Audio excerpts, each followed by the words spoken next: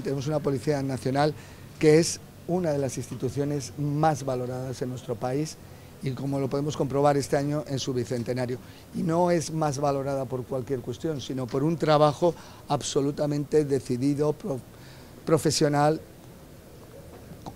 de garantizar la libertad y la seguridad del conjunto de los ciudadanos y de perseguir el delito allí donde se comete.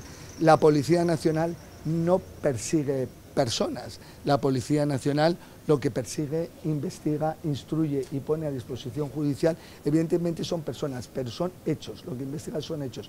No se investigan personas por ninguna circunstancia personal.